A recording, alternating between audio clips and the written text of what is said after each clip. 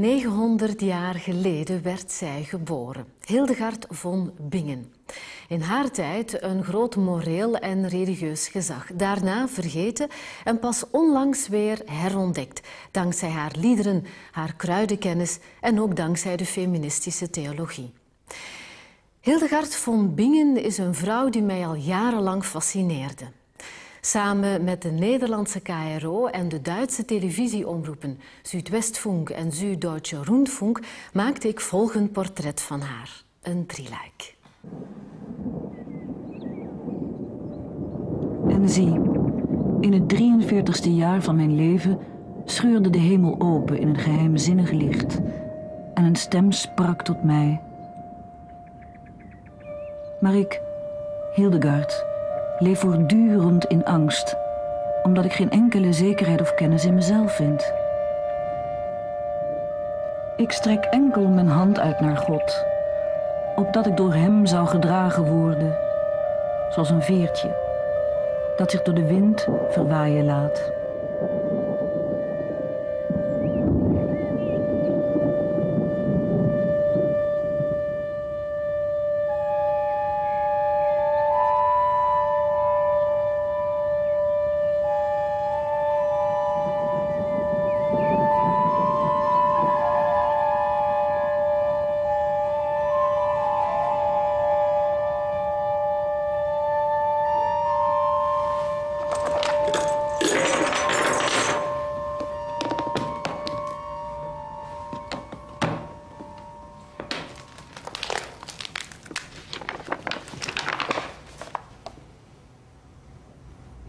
Anscheinend Incipit, also es fängt an. Prima pars, der erste Teil. Ach ja, Libri Scivias. Also Scivia, so heißt eins dieser Werke. Durch einen einfachen Menschen, Hildegard, vorgelegt. De stem die uit het geheimzinnig licht kwam, sprak tot mij. Ik ben het levende licht dat door de duisternis heen breekt. Schrijf op wat je ziet en hoort. Niet zoals je het zelf wil, maar naar de wil van diegene die alles ordent in het verborgene. Maar ik, Hildegard, voel mij te klein en onbeduidend om deze stem te gehoorzamen. Niet omdat ik niet wil, maar omdat ik twijfel.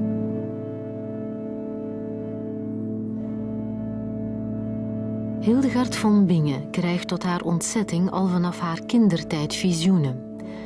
De eerste mens die haar gelooft en begrijpt is de monnik Volmaar. Hij zal haar helpen haar visioenen op te schrijven in de Scivias, wat betekent ken de wegen van de Heer. Hier bij Bingen aan de Rijn leefde 900 jaar geleden een van de beroemdste vrouwen van de 12e eeuw, Hildegard. Ze was abdis, arts, natuurkundige, profetes en componiste. Alles hangt met alles samen in haar wereldbeeld en verwijst uitdrukkelijk naar de schepper. Man en vrouw, hemel en aarde, het zichtbare en het onzichtbare, kunnen niet van elkaar gescheiden worden. Als de mens zondigt, leidt de kosmos. Hildegard van Bingen is een heilige, ontegensprekelijk. Maar ze is ook een kruidenvrouw die de geheimen van het lichaam kent en schrijft over de erotische band tussen man en vrouw. Het hele christelijke avondland komt bij haar te raden als blijkt dat ze visioenen krijgt van wat zij noemt het levende licht. Ze mengt zich op het politieke toneel en voert correspondentie met pausen, koningen en keizers, met zowel het gewone volk als religieuzen. Toch vindt zij dat zij een armzalig schepsel is. En er gaan weinig dagen voorbij dat ze niet ziek is of pijn lijdt. Abdis Hildegard, men zegt dat u een geheimzinnig licht ziet en Gods plannen kent. Gods plannen zijn niet die van de mensen. Maar men zegt dat u veel kennis bezit. Ik ben enkel een veertje in Gods hand, dat zich door de wind verwaaien laat. Hildegard wordt geboren in het jaar 1098 in Bermersheim. Een edelman van het graafschap Sponheim, Hildebert, en zijn vrouw Mechtild krijgen een kind, hun tiende. In dit kerkje van Alsaai laten ze het meisje dopen en noemen het Hildegard.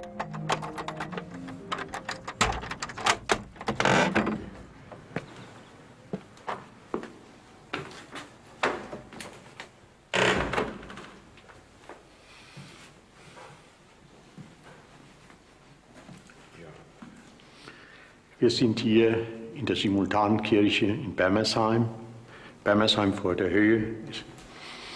Und die Kirche ist die Taufkirche der heiligen Hildegard von Bermersheim bzw. von Bingen. Die Kirche stammt aus dem 1000 bis 1100 hier ist die heilige Hildegard, die kleine Hildegard, getauft und hat Bermersheim mit sechs Jahren verlassen und ging auf den Disibodenberg. Dort wurde sie erzogen und lernte lesen und schreiben.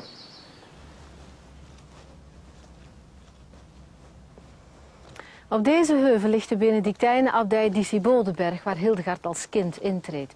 Waarschijnlijk is ze door deze poort naar binnen gegaan, op weg naar de kluis, waar ze samen met Jutta von Sponheim en nog een paar anderen zou wonen. Also, Sie sind jetzt meine Hildegard. Ja. So, Sie gehen bitte da in das Tor hinein und wir gehen dahin.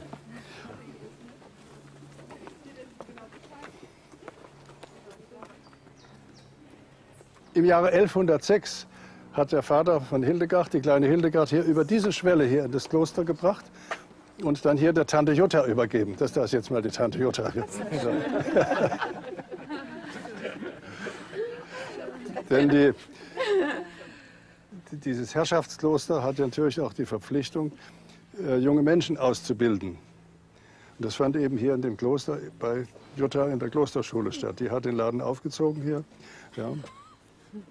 Und hier sind im Laufe der Zeit dann 16 Mädchen gewesen, zwischen sechs und acht Jahren und wurden hier klassisch ausgebildet. Das war die Vorstufe unserer Universitäten, waren hier diese Klosterschulen.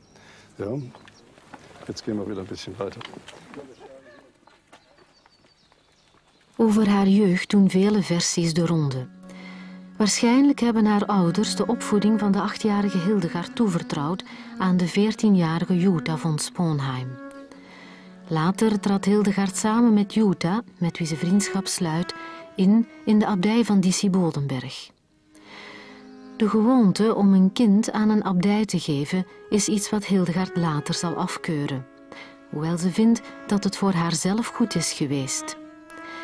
Maar parallel daarmee bestond die andere gewoonte om een kind reeds op jonge leeftijd uit te huwelijken. Twaalf jaar voor meisjes, veertien voor jongens. Het lot van een kind werd in elk geval reeds zeer vroeg vastgelegd. Hildegards Eltern waren sehr fromm gewesen. Und als sie ihr zehntes Kind bekamen, waren sie der Meinung, dass sie das als Zehnt dem Herrgott opfern sollten. Und haben also ihr Kind als Zehnt, wie im Alten Testament vorgeschrieben, der Kirche und Gott geweiht. Das hat für Hildegard eine große Rolle gespielt, denn sie war unter ihren zahlreichen Geschwistern nicht die einzige, die geistlich geworden ist. Sie hatte Brüder, die geistlich wurden, aber sie war die einzige, die als Zehnt von Gott beansprucht wurde und auch Gott übertragen worden ist.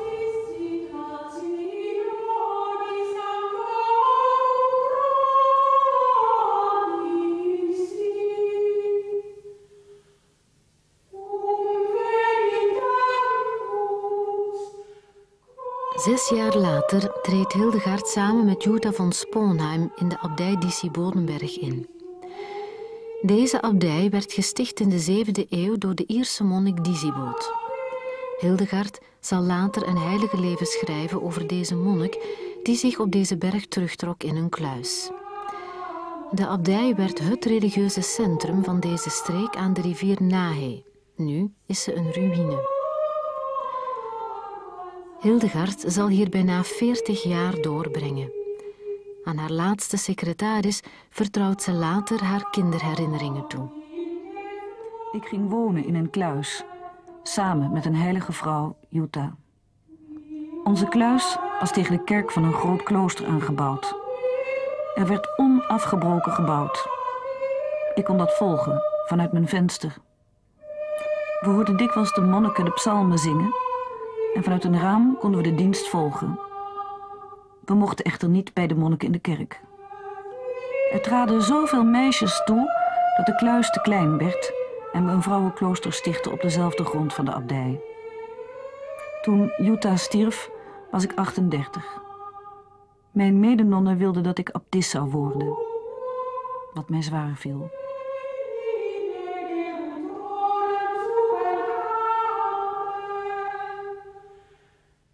Toen ze vijftien was, nam ze de sluier aan en werd non volgens de regel van Benedictus. Hildegard zou speciaal de zorg voor de zieken op zich nemen. De wijding tot maagd was een vreugdevolle gebeurtenis in het leven van de abdij en de mensen uit de omgeving. Ze stond op dezelfde hoogte als een priesterwijding.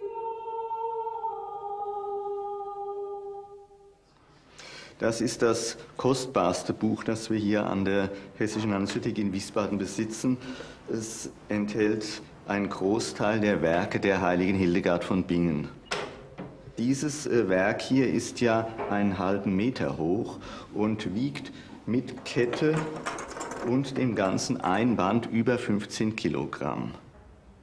Bekanntlich hat sie ja sehr viel geschrieben. Äh, sie hat Visionen gehabt, die sie aufgeschrieben hat. Äh, sie hat theologische Werke geschrieben.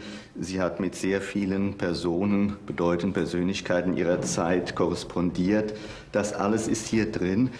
Und was auch drin ist und besonders attraktiv ist, das sieht man aber jetzt nicht, das ist am Schluss äh, der Teil mit ihren Kompositionen. Sie hat ja auch Lieder geschrieben.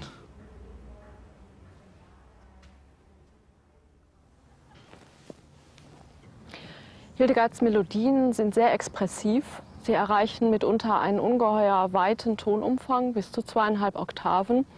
Und obwohl die Gesänge in ihrer Zeit auch oftmals große Tonumfänge hatten, ist er bei Hildegard besonders groß.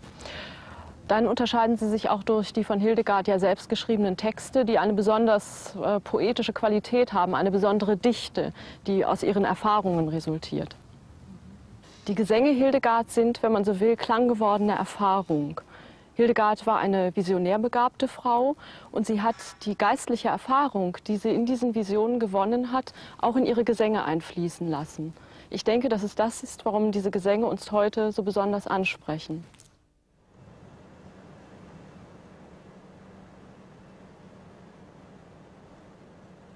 Wat Hildegard ervaart in haar visioenen, eigenlijk wat haar overkomt, isoleert haar, of ze wil of niet.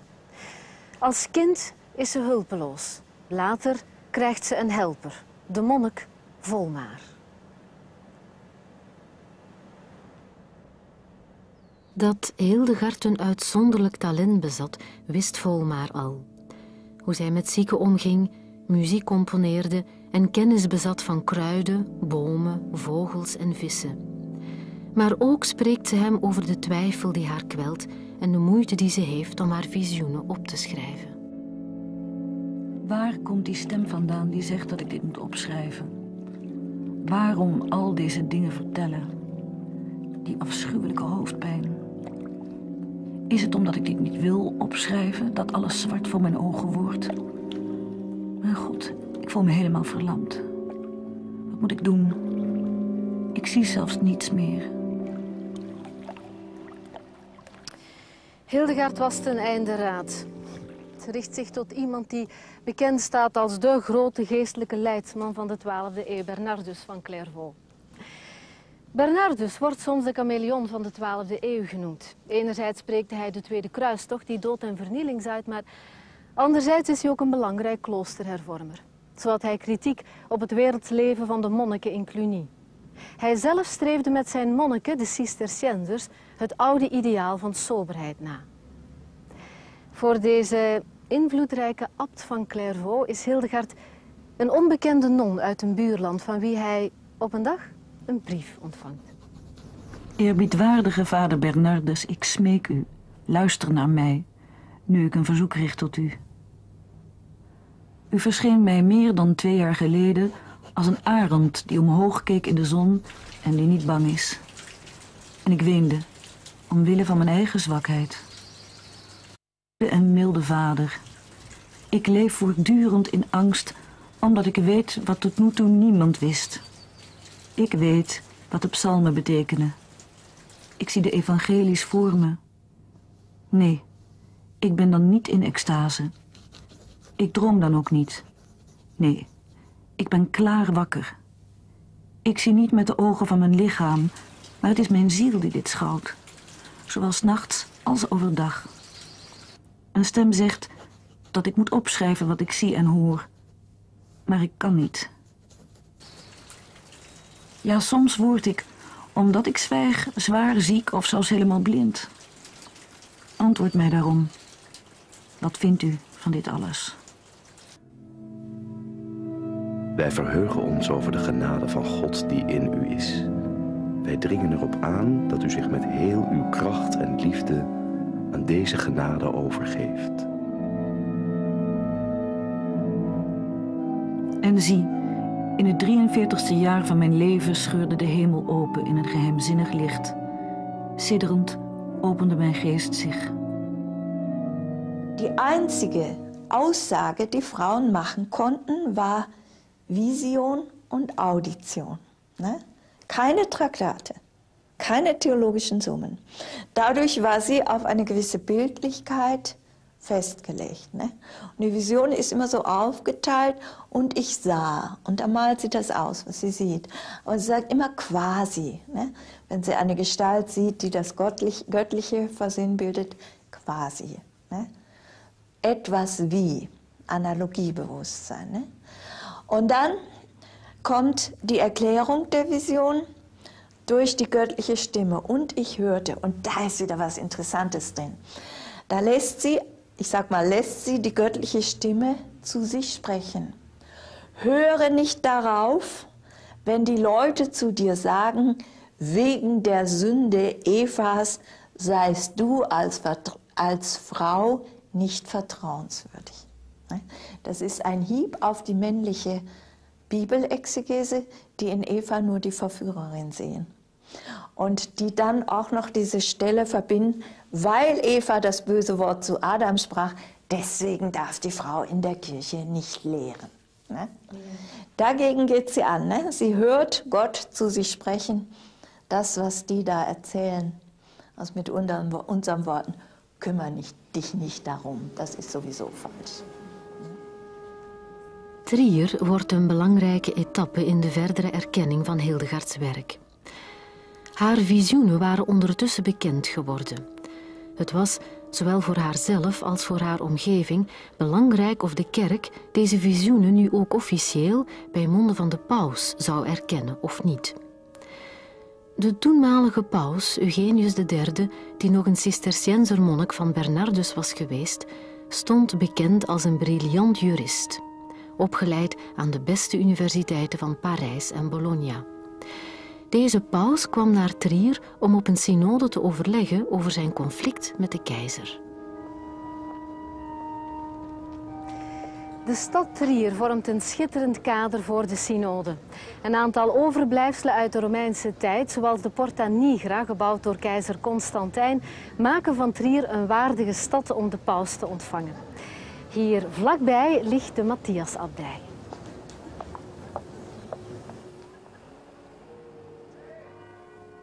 Deze Matthias of Eucharius-abdij, genoemd naar de eerste bisschop van Trier, was een grafheiligdom. Vele graven van eerste christenen getuigen op deze plaats van een groot Romaans kerkhof. Later werd het een bedevaartsoord omdat het graf van de apostel Matthias hier ontdekt zou zijn.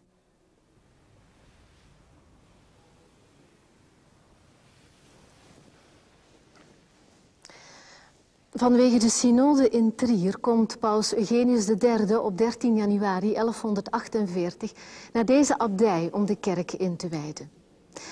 De abt van Dissi-Bodenberg, Kuno, neemt de gelegenheid te baat om de paus te vragen wat hij denkt van Hildegard en haar werk, de Scivias. Het hoge gezelschap houdt de adem in.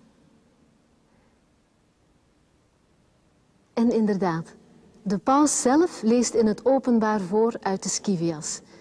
Deze erkenning door de hoogste kerkelijke autoriteit is wat Hildegard nodig heeft om verder te durven schrijven en spreken over haar visioenen. De vreugde bij Hildegard en haar medezusters is bijzonder groot.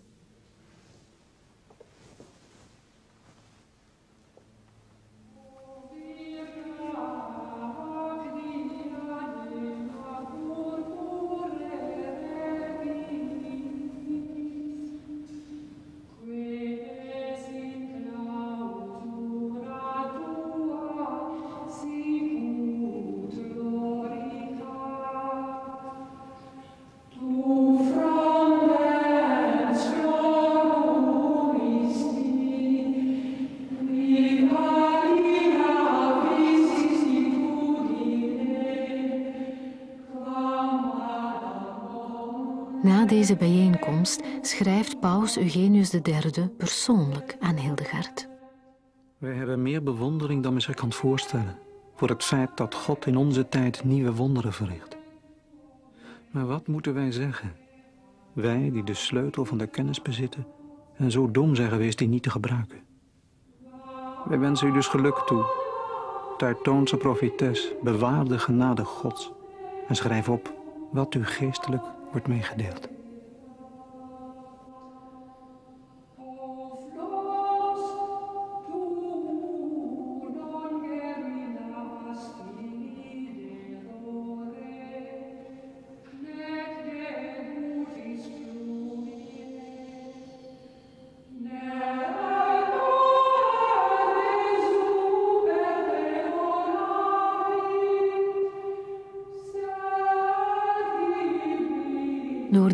Erkenning van de paus zelf krijgt Hildegard meer zelfvertrouwen.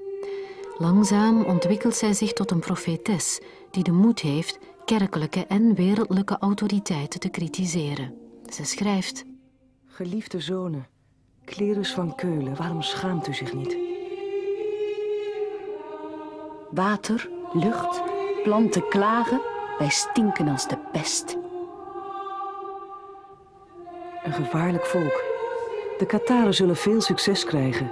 Wantrouw hen.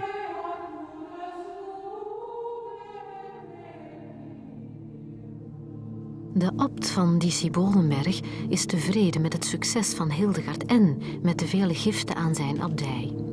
Toch ergert hij zich omdat hij gehoord heeft dat Hildegard een eigen klooster wil beginnen. Met de medebroeder bespreekt hij de situatie. Zij wil onze monnik Volmar meenemen naar haar nieuwe abdij. Hij moet ook daar als secretaris haar visioenen opschrijven. Meen je dat? Ach ja, het Latijn van Hildegard is waardeloos. Volmar moet natuurlijk samen met die andere non-regardes haar potjes Latijn verbeteren. Ik lees dat de paus haar zelfs Teutoonse profetes noemt. En haar liederen zijn bekend tot in Parijs.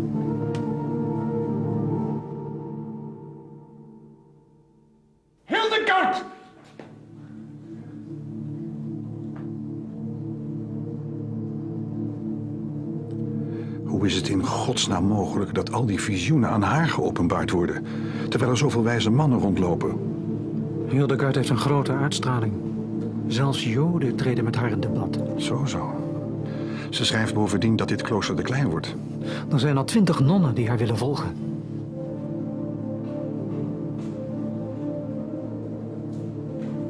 Mijn abdij heeft er baat bij dat ze blijft. Als ik denk aan al die giften van die adellijke dames. Mijn besluit staat vast.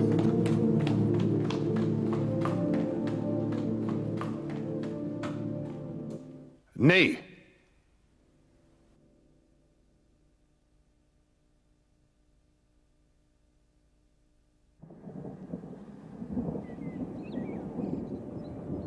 En zie, in het 43ste jaar van mijn leven scheurde de hemel open in een geheimzinnig licht. En een stem sprak tot mij. Maar ik, Hildegard, leef voortdurend in angst, omdat ik geen enkele zekerheid of kennis in mezelf vind. Ik strek enkel mijn hand uit naar God, opdat ik door Hem zou gedragen worden, zoals een veertje dat zich door de wind verwaaien laat.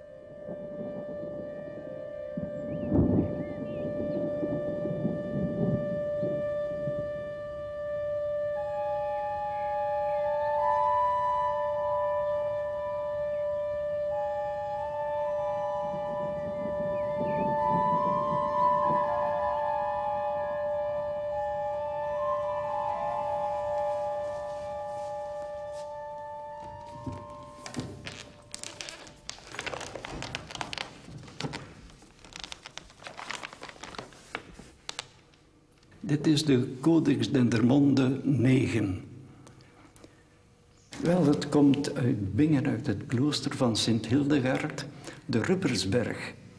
En het werd geschreven daar in het scriptorium tijdens het leven van Hildegard zelf. Boek dateert van ongeveer iets voor of in 1176.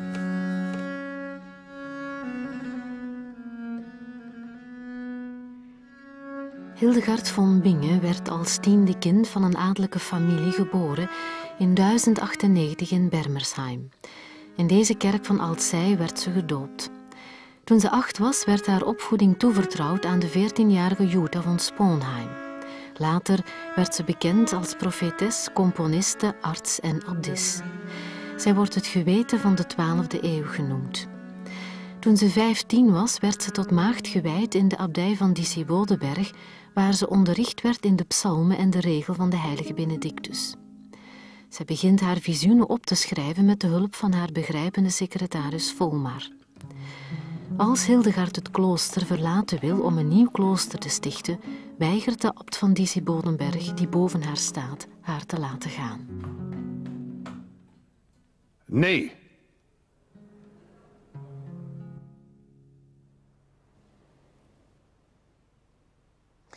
De schok van de confrontatie met de abt is zo groot dat Hildegard ziek wordt.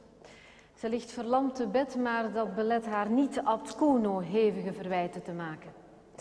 Zij vergelijkt zichzelf met Mozes, die de opdracht krijgt zijn volk naar het beloofde land te leiden.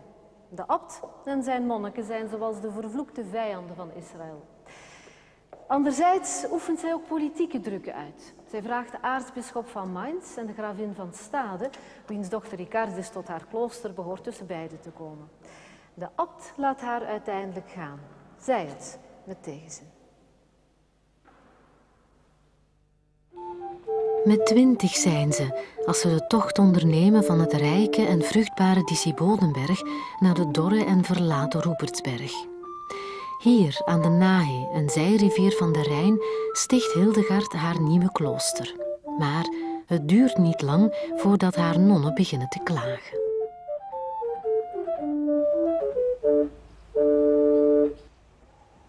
Het conflict escaleert. Er ontstaat een opstand tegen Hildegard. Haar adellijke nonnen vinden het leven op de Roepertsberg te hard voor hen.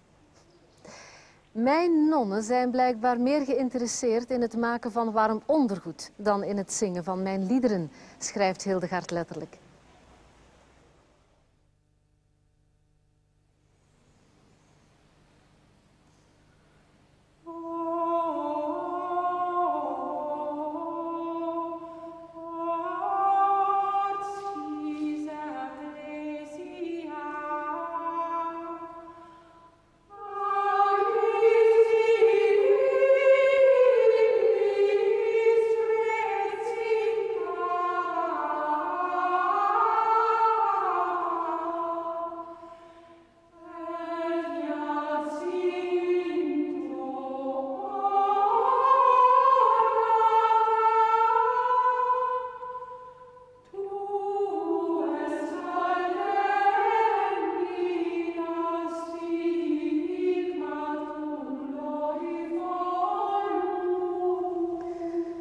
Toch is het zingen voor Hildegard belangrijker dan de welstand van haar nonnen. En haar liederen hebben ondertussen al bekendheid verworven, tot in Parijs. Dat blijkt uit een brief van een zekere magister Odo van Parijs aan Hildegard in 1148. Haar laatste secretaris, Guibert von Jean schrijft... Deze liederen worden in het openbaar in de kerk gezongen. Wie heeft er ooit zoiets van een vrouw gehoord? Hildegard knoopt aan bij een oude traditie door zich te vestigen op de Roepertsberg. Deze berg was namelijk een bedevaartsoord gewijd aan de heilige Rupertus. In de 17e eeuw werd haar klooster echter verwoest door de Zweden in de Dertigjarige Oorlog en in de vorige eeuw werden de ruïnes ervan opgeblazen voor de aanleg van de spoorlijn Keulen-Mainz. Jozef Wurt vestigde zijn firma op de plaats waar eens Hildegards klooster stond. Das war das Mittelschiff der Klosterkirche. Und zwar schweben wir etwa in halbe Höhe äh, dieses Mittelschiffs, denn äh, der Boden der Kirche lag eine Etage tiefer. Bei uns unten im Keller sieht man also heute noch die Säulen, die, auf denen diese Arkaden dann aufgebaut sind. Äh, das ist ein Bauholz. Es ist so, früher hat man so gebaut, dass man nur einfach nach einer gewissen Höhe Hölzer drüber gelegt hat, über die, über, das, über die Mauersteine, dann weitergebaut hat. wenn man fertig war, wurde es vorne abgehackt. Das sieht man auch, dass es mit dem Beil abgehackt wurde, ja, und es wurde dann verputzt. Wir haben es beim Brand, ist uns das aufgefallen, da haben wir es von der anderen Seite, haben wir ein Stück rausgeschlagen, damit es heute sichtbar ist. Also dieses Holz ist etwa 850 Jahre alt. Dann steigen wir zwei Etagen tiefer, um in die Gewölbe unter dem Mittelschiff zu kommen. Ja? Herr Also Sie können sich vorstellen, die Kirche war so breit etwa wie dieses Gewölbe, natürlich doppelt so lang wie heute, weil der vordere Teil ja beim Bahnbau weggesprengt wurde. Aber diese, dieser Platz ist der Platz, an dem Hildegard gelebt hat. Und in diesem Gewölbe war auch Hildegard beigesetzt bis zum Dreißigjährigen Krieg, als die Nonnen nach Köln geflüchtet sind vor den Schweden. Und da haben sie die Gebeine ausgegraben, haben sie mitgenommen auf die Flucht. Und die Gebeine sind dann später nach Eibingen gekommen, wo sie noch heute sind.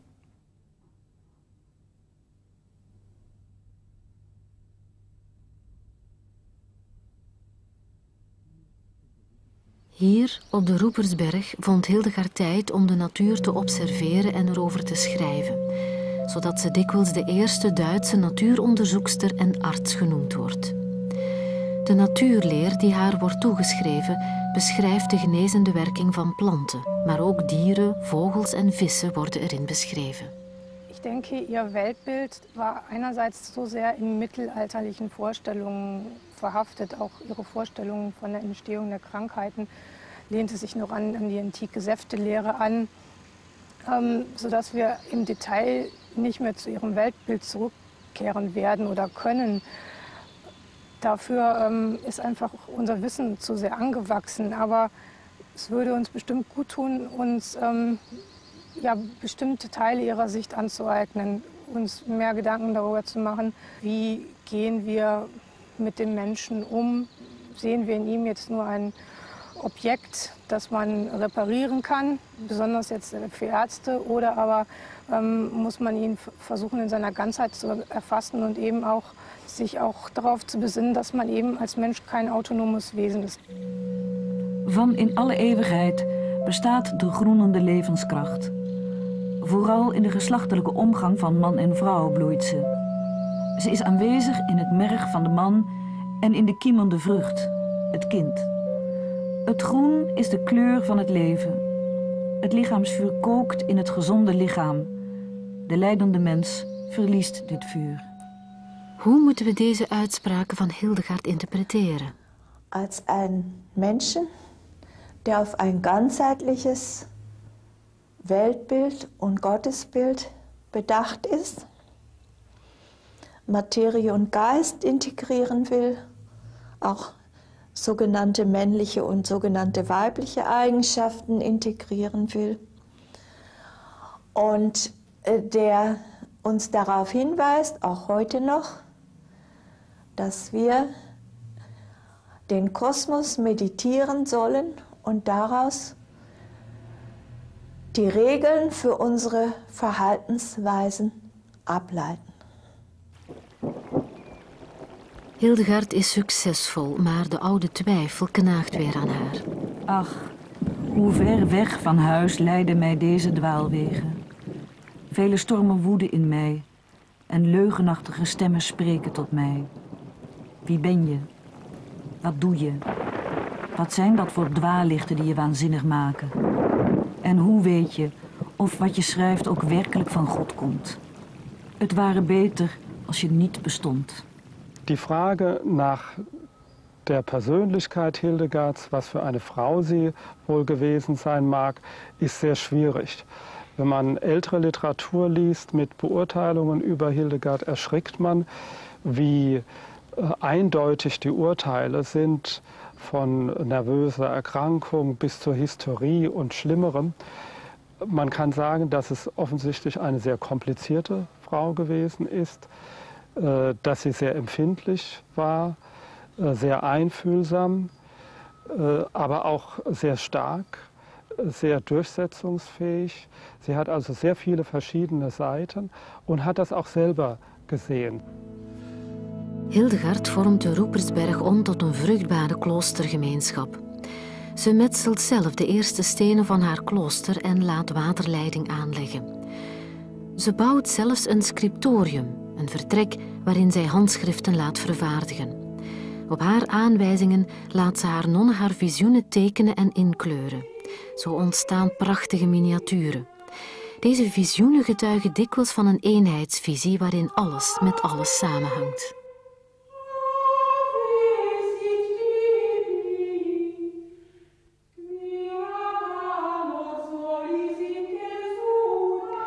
De meest verscheurende episode uit Hildegards leven breekt nu aan.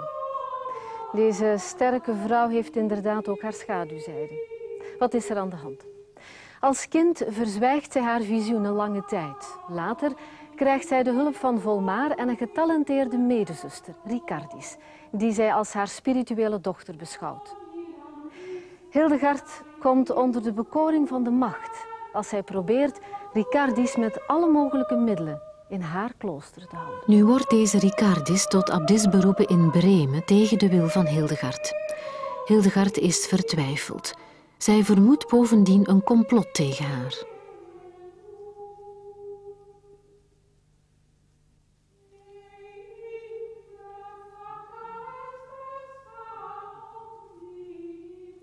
Na innerlijke strijd laat zij Ricardis toch gaan. Hildegard moet wel veel van Ricardis gehouden hebben. Een tragedie speelt zich af. Ze schrijft Ricardis. Dochter, luister naar mij, naar uw spirituele moeder. Het grote vertrouwen dat ik had in een mens is kapot gemaakt, nu ik weet dat je weggaat. De mens die naar God kijkt, is zoals een adelaar die zijn blik naar de zon richt. En daarom mag men zijn hoop niet op een mens stellen die zoals een bloem verwelkt.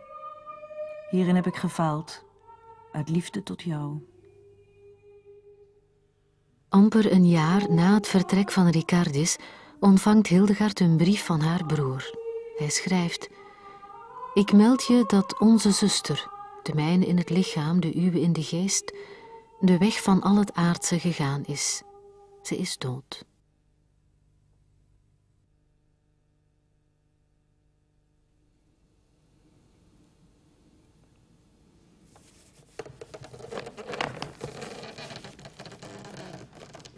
Zij is altijd zeer nederig geweest. Met, zij deed zich niet voor als een visionaire die dit nu eindelijk eens zou komen vertellen. In tegendeel, zij was zeer bescheiden altijd. En dat is haar grote verdienste volgens mij. Daardoor juist heeft zij kunnen zoveel volk bereiken.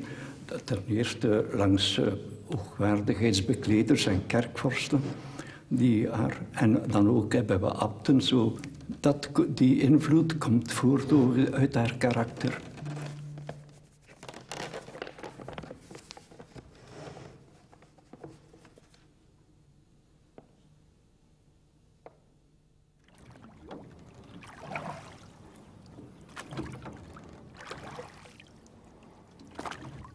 Abdis Hildegard, men zegt dat u een geheimzinnig licht ziet en Gods plannen kent. Gods plannen zijn niet die van de mensen. Maar men zegt dat u veel kennis bezit. Ik ben enkel een veertje in Gods hand, dat zich door de wind verwaaien laat.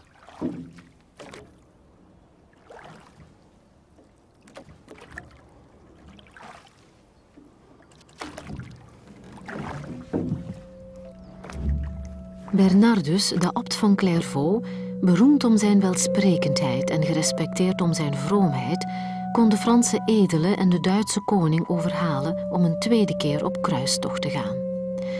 Hoewel Hildegard veel aan Bernardus te danken heeft en hem zeer bewondert, heeft ze de moed kritiek te geven. Hoe kan het zijn dat zij met hun kazuivels en kaalgeschoren kruinen meer soldaten en wapens bezitten dan het gewone volk? Hoe kan een geestelijke een soldaat zijn en een soldaat een geestelijke?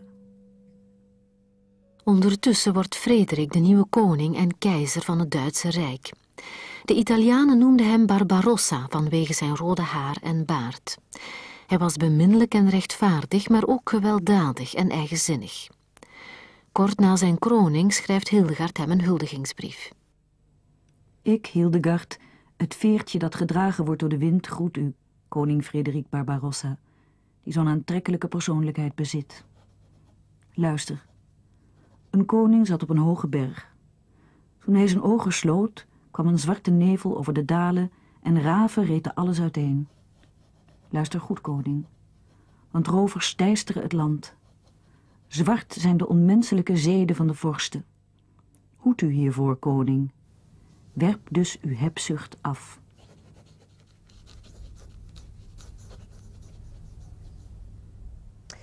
Frederik Barbarossa ziet zichzelf niet alleen als hoogste wereldlijke macht, maar ook als een door God aangestelde beschermer van de kerk. En hij eigent zich het recht toe bisschoppen en abten te benoemen, geheel naar de traditie van de Duitse keizers. Het conflict met de kerk luidt weer op, want wie is nu de vertegenwoordiger van God op aarde? De paus of de keizer? Keizer Barbarossa maakt met zijn intocht in Ingelheim duidelijk dat hij zichzelf ziet als Gods afgezant op aarde. Also wenn Sie jetzt das Bild hier sehen, das ist die alte Ansicht von der Pfalz zu Ingelheim. Die Mauern sind hier zum Teil noch zu sehen, hier, wenn Sie die Resten hier sehen. Die Türme sind zum Teil noch erhalten, können Sie von hier nicht sehen. Das hier ist die Kirche, die Sie da drüben sehen. Und hier ist die Kaiserpfalz von Karl dem Großen gebaut, von Barbarossa noch weiter benutzt. Das Ganze wurde dann irgendwann, ich glaube im, im Mittelalter wurde das geschliffen. Also man hat die, die Mauern benutzt, um die Häuser zu bauen. Die kleinen Häuser sind alle mit diesen Mauern da gebaut worden, mit diesen Steinen gebouwd worden. Slechts een paar ruïnes blijven er over, maar hier stond ooit een immens paleis waar Barbarossa Hildegard uitnodigt. Het wordt de plaats van de eerste ontmoeting tussen Hildegard en de keizer. Er wordt een groot feest gegeven.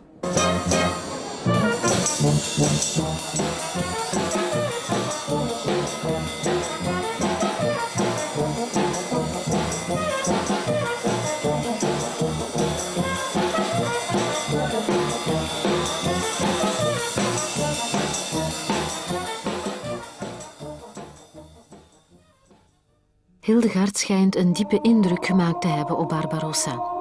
Hij vraagt haar voor hem te bidden en later zal hij zijn keizerlijke bescherming aanbieden. Maar er groeit ook kritiek op Hildegard.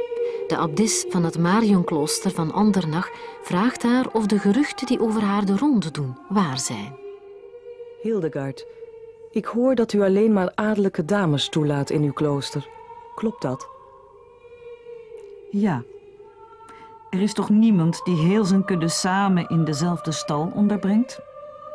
De ossen, ezels, schapen en geiten zouden elkaar toch in de haren vliegen? Hildegard, ik hoor dat uw nonnen in het koor staan met golvende haren en gesierd met een witte sluier en juwelen. Klopt dat? Ja, eerwaarde zuster. De vrouw mag zich niet opmaken, tenzij om haar man te behagen. Maar de maagd moet zich niet aan het voorschrift houden de schoonheid van haar haar te bedekken. Zij is immers gehuwd met Christus.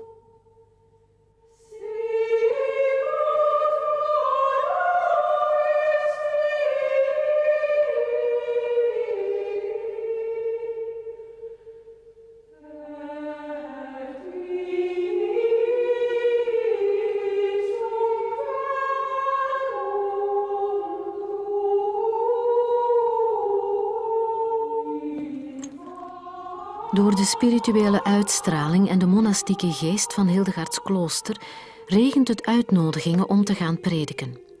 Ze onderneemt in het totaal vier grote reizen. Op haar eerste reis trekt ze door het Main-gebied en op haar tweede reis bezoekt ze Trier.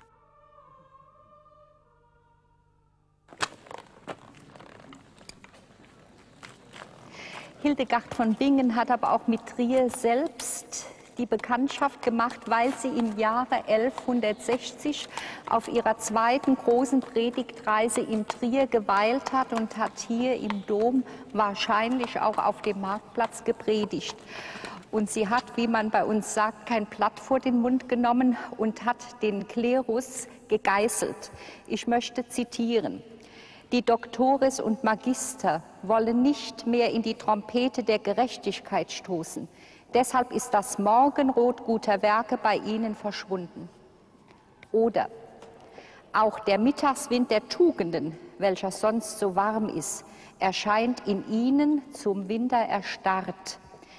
Denn sie ermangeln in sich der guten und vom Feuer des Heiligen Geistes durchglühten Werke und stehen, da das lebendige Grün fehlt, verdorrt da. Wenn man die Meinung gesagt bekommt, ist man normalerweise etwas böse. Aber diese Doktoris und Magister haben in Demut ihre Worte angenommen und wir können annehmen, dass sie sich gebessert haben.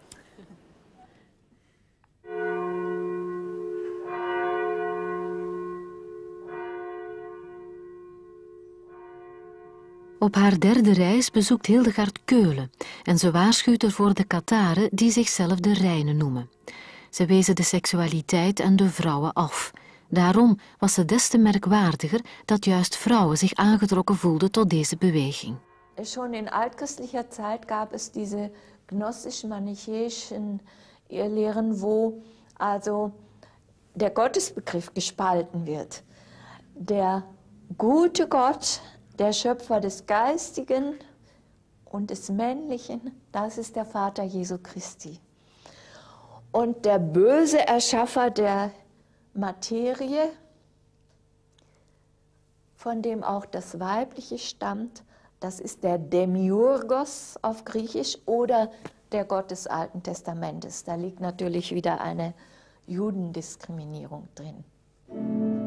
Dit dualistisch wereldbeeld is totaal niet in overeenstemming met Hildegards zienswijze op de eenheid tussen man en vrouw.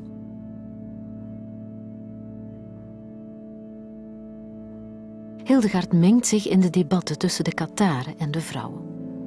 Lichaam en ziel, kwaad en goed. Hoe kan ik de goede God vinden? Het lichaam en de wereld zijn instrumenten van de kwade God. Zorg er dus voor dat er door u geen andere lichamen meer op de wereld komen. Geen andere lichamen? Geen kinderen meer baren? Inderdaad. Het lichaam is slecht. De ziel is goed. Het is beter samen te wonen dan te trouwen en kinderen te krijgen. Want kinderen krijgen is erger dan enkel onkuisheid begaan. Zullen we dan niet uitsterven? Dat is net goed. Uitsterven en weer helemaal geest worden. Niet meer gehinderd door de kwade God aan wie het lichaam behoort. Katar, kan ik bij jullie komen? Nee, vrouw. Omdat gij vrouw zijt, is het u niet toegelaten. Alles wat gij beveelt, zal ik doen. Nee!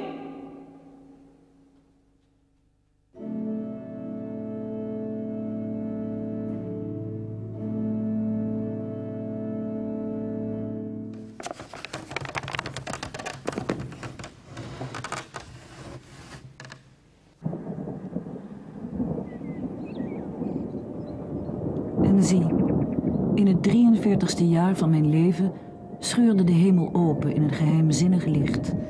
En een stem sprak tot mij.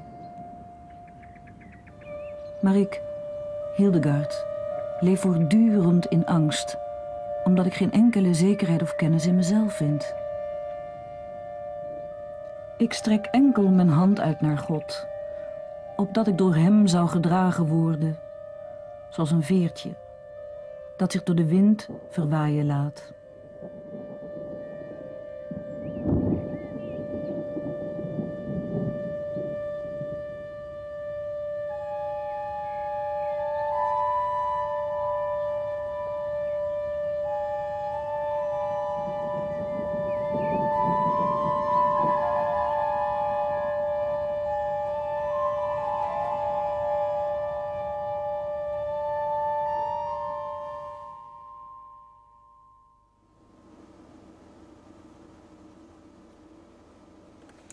Codex Antimati Apostoli et Euchari Archiepiscopi. Hildehardis de operatione Dei, prima visio, prime partis. Van Hildehard, de uh, werken van God, de eerste visio, het eerste visioen van het eerste deel. Hildegard von Bingen werd als tiende kind van een adellijke familie geboren in 1098 in Bermersheim. In deze kerk van Altzey werd ze gedoopt. Toen ze acht was, werd haar opvoeding toevertrouwd aan de 14-jarige Jutta von Sponheim. Later werd ze bekend als profetes, componiste, arts en abdis. Zij wordt het geweten van de 12e eeuw genoemd. Toen ze 15 was, werd ze tot maagd gewijd in de abdij van Disibodenberg, waar ze onderricht werd in de psalmen en de regel van de heilige Benedictus. Ze begint haar visioenen op te schrijven met de hulp van haar begrijpende secretaris Volmaar. Wanneer Hildegard het klooster verlaten wil om een nieuw klooster te stichten, weigert de abt van Dissibonenberg, die boven haar staat, haar te laten gaan. Nee.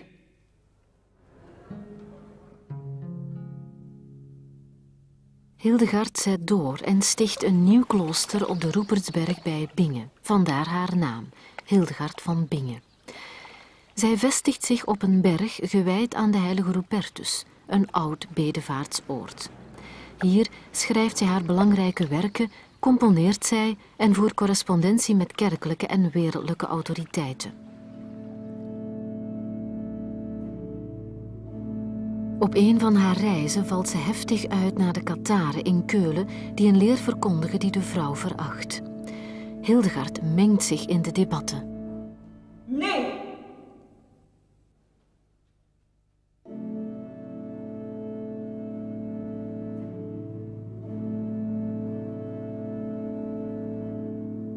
De geslachtelijkheid is natuurlijk en door God gewild. Als man en vrouw gemeenschap hebben met elkaar, zijn ze het beeld van God. Dat is onkuisheid, ontucht, zonde. Het is de wellust die het licht in het lichaam gevangen houdt. En het is de vrouw die deze wellust doorgeeft. Het is de vrouw op wie de hoogste zegen rust. Want God werd mens in een geliefde maagd. God kan niet mens worden, hij is licht. Hij kan niet lichaam worden.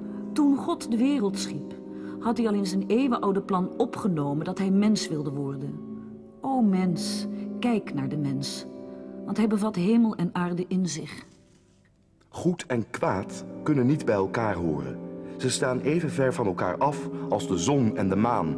De zon zendt zijn licht naar de maan wanneer hij haar nadert, net zoals een man zijn sperma in een vrouw stort. Maar jullie verachten de vrouw. Zo zou een hevige woordenwisseling tussen Hildegard en een nieuwe religieuze groepering, de Kataren, eruit gezien kunnen hebben. Tja, de Kataren. Aanvankelijk was het een protestbeweging tegen de groeiende rijkdom en het verval van zeden, met name in de steden. Het Katarendom ontstond eerst in het Rijndal, meer bepaald in Keulen, en verbreidde zich dan tot in Zuid-Frankrijk. De inquisitie die bloedig afrekent met de Kataren werd in 1231 ingesteld door de kerk in Rome. Hildegard is dan al 52 jaar dood, maar het lijkt erop alsof ze tijdens haar leven reeds waarschuwde voor deze bloedbaden. Zoals mensen dieren slachten voor voedsel, zo zal er ook een tijd komen waarin de mensen elkaar als krankzinnigen afslachten. En gij, Klerus, zijt mede schuldig, want gij doet niets anders dan uzelf vetmesten. Men kan zich afvragen hoe Hildegard op een dergelijke toon kon spreken. Für uns erscheint das sehr merkwürdig, weil wir die Vorstellung haben, dass Frauen im Mittelalter nichts zu sagen hatten. Ähm, wir leben aber im Zeitalter des Feudalismus. Das bedeutet, dass eine Frau äh, genauso zur Familie gehört wie ein Mann und im Grunde genommen als diejenige, die Erbe weitergibt, die beteiligt ist an Gütergeschäften, auch sehr wesentliche Rechte hat. Das überträgt sich auch für die Verhältnisse des Staates und der Kirche. Das heißt, Hildegard konnte durchaus Kritik üben, sowohl an der weltlichen Obrigkeit als auch an der geistlichen.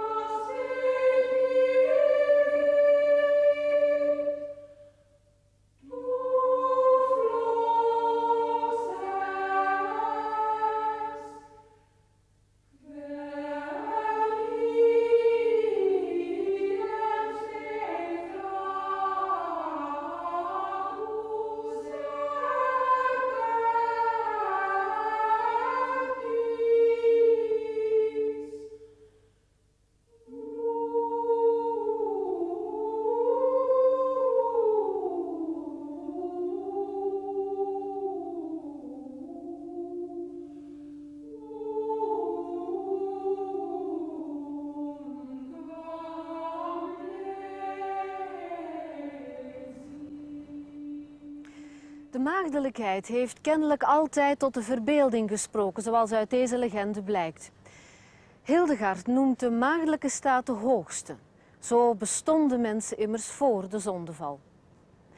De vrouw die uit liefde tot God de man afwijst, is zoals de adelaar die in de zon kijkt, schrijft zij letterlijk. Toch mag deze zuivere staat niet gekozen worden als de vrouw er niet voor geschikt is. Zo waarschuwt ze de nonnen van Zwiefalten. Dan is het beter dat ze zich verenigt met de man.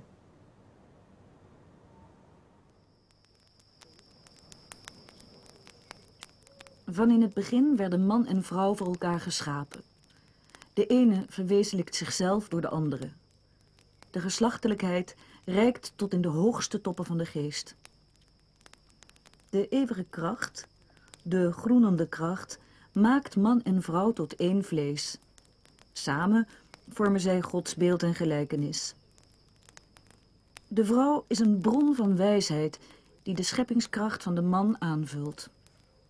De man bezit een grotere productiviteit, maar het is de vrouw die deze kracht tot voltooiing brengt.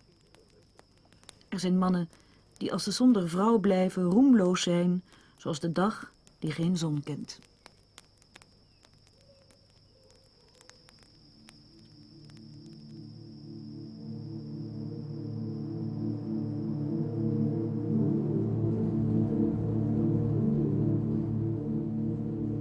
In het voorjaar van 1165 ziet Hildegard tot haar ontzetting hoe keizer Frederik Barbarossa kloosters in haar omgeving platbrandt, omdat zij aan de kant van de paus staan. Ook Hildegards klooster had in het conflict tussen paus en keizer de zijde van de paus gekozen. Als Barbarossa de rechtmatig gekozen paus afzet en achtereenvolgens drie tegenpausen benoemt, waarschuwt Hildegard Barbarossa. Toch spaart Barbarossa haar klooster. Hij had immers voordien zijn keizerlijke bescherming gegeven in een oorkonde. Niet tegenstaande deze bescherming bekritiseert zij Barbarossa scherp. Ik, Hildegard, het veertje in Gods hand, heb je gezien in een visioen. Je gedraagt je als een kind. Er is je echter nog tijd gegund om over aardse zaken te heersen. Maar wees voorzichtig. Als Barbarossa haar raad in de wind slaat, schrijft ze hem een laatste brief, de kortste en de scherpste die ze hem ooit geschreven heeft. Hij die is, spreekt. Jouw verzet zal ik breken. Gehoorzaam, koning, als je wil leven. Anders zal mijn zwaard jou doorboren. Eén jaar voor Hildegards dood verzoent Barbarossa zich met de paus. Hildegards visioenen werden door haar nonnen getekend en ingekleurd. Ze beelden de strijd uit van de mens tegen demonen, maar ook engelen en helpers worden in beeld gebracht.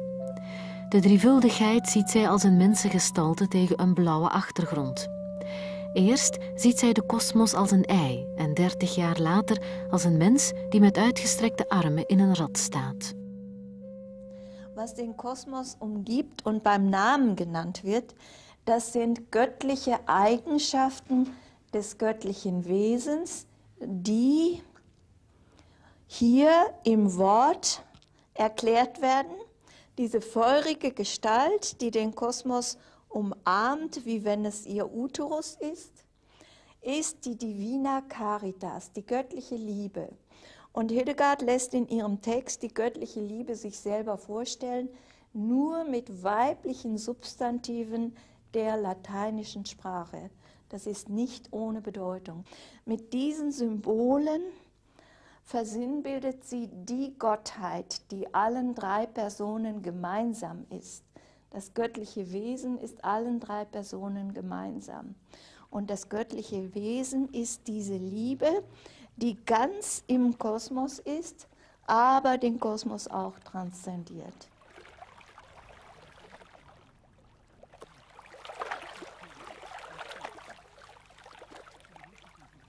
Aan de overkant van de Rijn, in Aibingen, sticht Hildegard een nieuw klooster. Zij bezoekt het tweemaal per week met een overzetbootje. Hildegard is dan 67 en eens te meer ziek.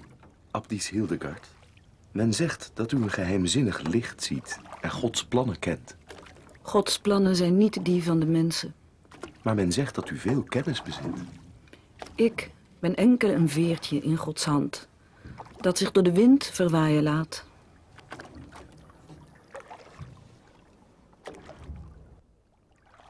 Een legende verhaalt dat een vrouw met een blinde knaap Hildegard opwachtte aan de overkant toen zij haar nieuwe klooster bezocht. Hildegard nam water uit de rivier, zegende de jongen en hij kon weer zien.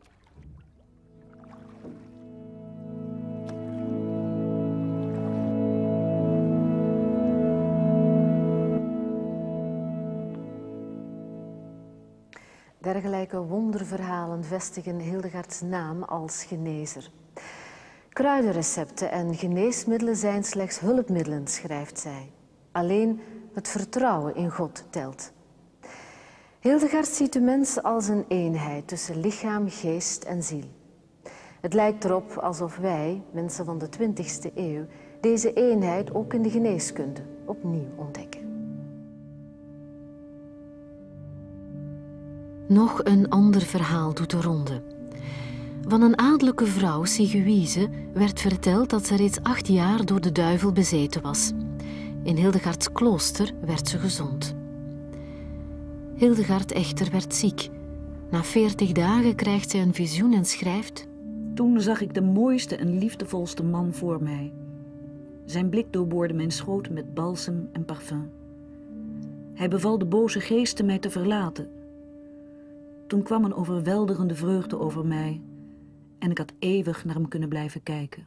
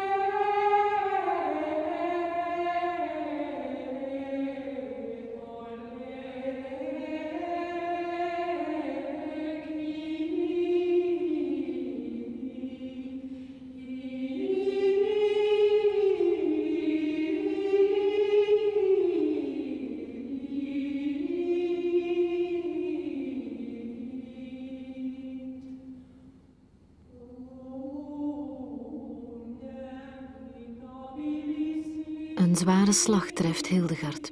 Haar trouwe secretaris Volmar sterft in 1173. Volmar was een van de eerste aan wie Hildegard haar visioenen had toevertrouwd.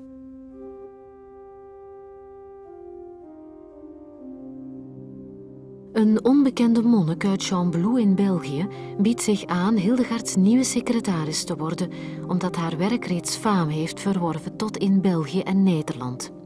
Hij stelt haar de volgende vragen. Krijgt u uw visioenen als u slaapt? Of bent u wakker? Vergeet u ze als u ze heeft opgeschreven? Wat betekent de titel van uw boek Skivias?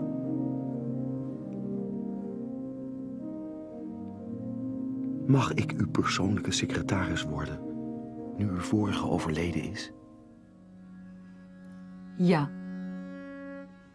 En wat uw vragen betreft. De woorden die ik spreek komen niet van mezelf, noch van een ander mens.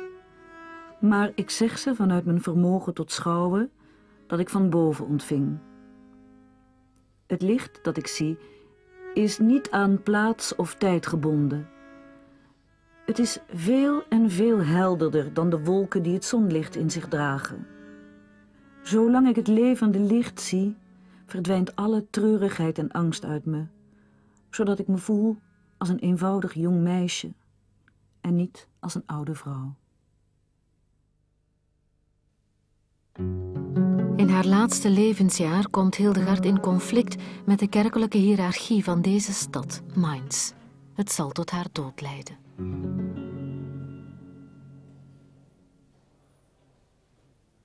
U hebt op de gewijde grond van uw kerkhof een man begraven die door ons, het episcopaat van Mainz, geëxcommuniceerd was. De edelman die bij ons begraven is, heeft zich een jaar voor zijn overlijden met de kerk verzoend. Wij aanvaarden deze uitleg niet. Als u hem niet onmiddellijk terug opgraaft, wordt het interdict aan uw klooster opgelegd. U mag dan uw liederen niet meer zingen, noch de Eucharistie vieren. Opgraven? Deze man heeft gebiecht en de communie ontvangen. We hebben dus geen enkel misdrijf begaan. Wij weigeren deze man terug op te graven. Bij nacht en ontijd trekt Hildegard met haar nonnen naar zijn graf om de contouren ervan uit te wissen, zodat niemand de edelman nog zou kunnen opgraven uit de gewijde grond van Hildegards abdij op de Roepertsberg.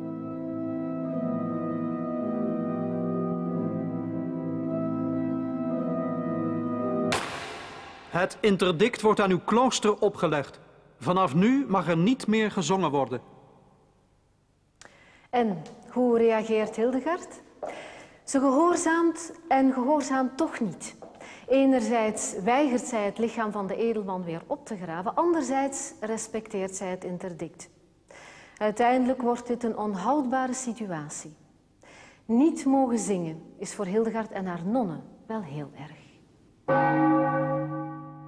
De prelaten van Mainz weten wat ze Hildegard aandoen als ze haar het zingen verbieden.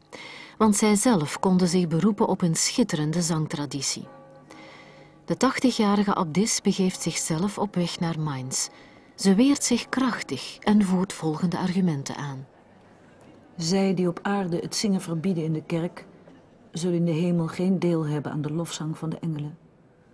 Het scherpste oordeel zal over u prelaten neerkomen, als u niet, zoals Paulus zegt, uw leidersambt correct vervuld hebt. De mens werd namelijk door God zelf het zingen ingefluisterd.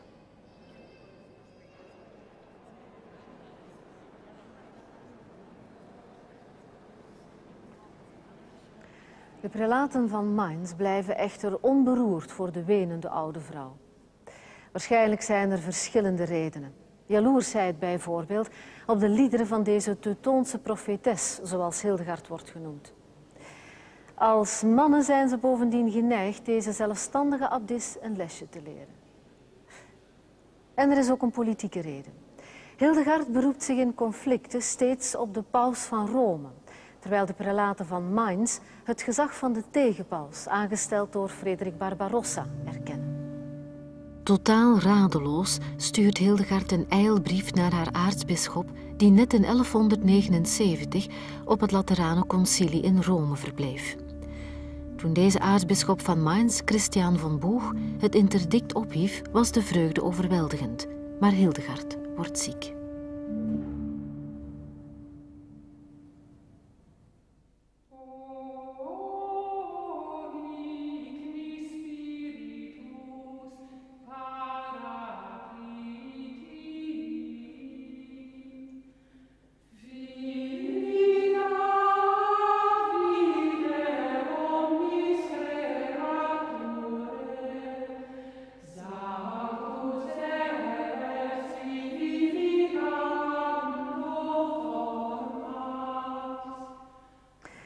Het hele conflict had Hildegard echter zoveel energie gekost dat ze de uitputting nabij was.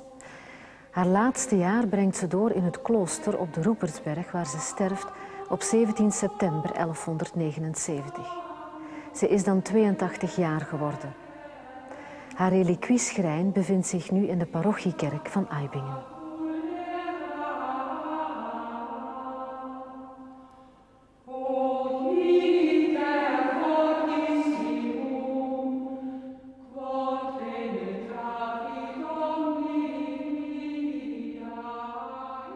Guibert, haar persoonlijke secretaris, keerde terug naar zijn abdij in Jean Blou en hij zorgde ervoor dat haar geschriften verspreid werden tot in Parijs. Hildegard vertelde mij dikwijls dat alles met alles samenhangt. In de mens vormen lichaam en ziel een eenheid. De mens is een spiegel van God en verantwoordelijk voor de andere schepselen. Dit gedachtegoed is gedurende 800 jaar vergeten. Pas nu wordt het herontdekt.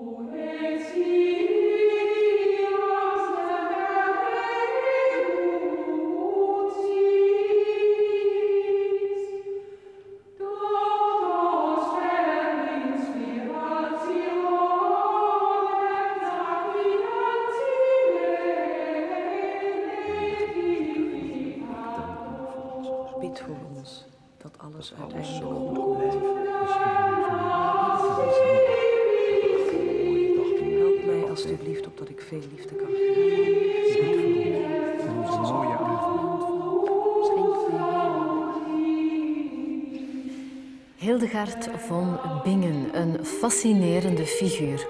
Laat ik er nog even bij vertellen dat het koor Tjerkamon, dat meewerkte aan dit drieluik, de liederen van Hildegard heeft uitgebracht op een cd.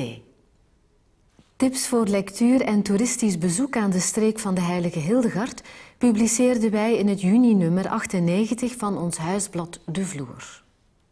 Ik ben blij dat u met mij Hildegard van Bingen heeft ontdekt. Misschien zien wij elkaar terug op Canvas, waar het Braambos in de regel om de 14 dagen een uitzending verzorgt. Bedankt en misschien tot kijk.